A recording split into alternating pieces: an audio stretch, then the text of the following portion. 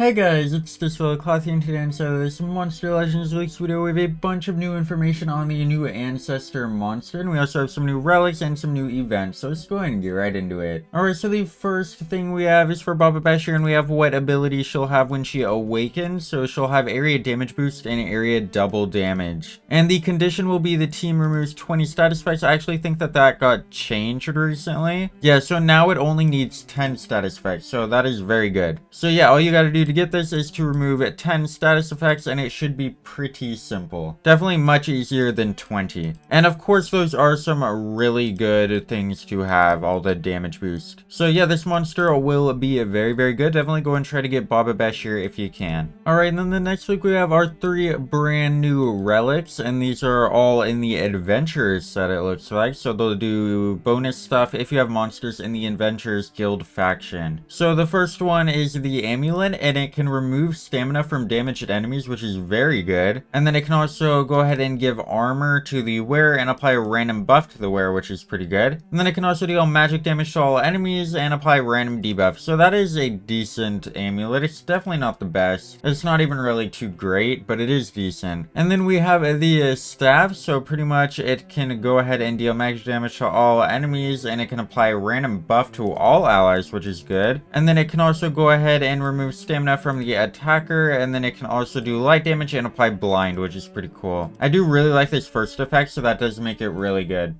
And then we have the Essence, which will go ahead and heal the targets, which is pretty cool. And it can also revive all allies, which is amazing. But that is, of course, the Adventurers Guild faction one, so you have to have other monsters from that faction. But I'm sure you could get a full team of them, and then that would be very good. And then you can also go ahead and apply Torture Immunity to the wearer, which is okay. So yeah, the best one is definitely the middle one. This one is amazing. So yeah, definitely go ahead and try to get this relic. It is very, very good. And then we have that Yoshi summons to be the multiplayer monster, and we have his trait right here. He has immune to stun, immune to blind, and precision. That is honestly just kind of really bad trait. And then we also have his description if you want to go ahead and read that. And then we have Onikaba's description as well, and then we have a skill update for Baba Bashir. So instead of removing control immunities from all enemies, it will only do one enemy, which is of course a bad change. It already wasn't a very good move, but they made it even worse, which is kind of weird. And then we have that there's of course going to be an Ancestor dungeon